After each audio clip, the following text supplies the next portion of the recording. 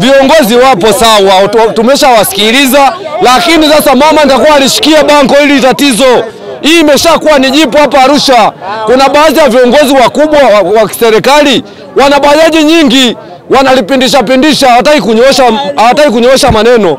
Nitakuwa wanyoosha maneno, bajaji zikae pembeni, zikodishwe kama za kukodishwa zikodishwe, daladala zirudi kwenye ruti zao.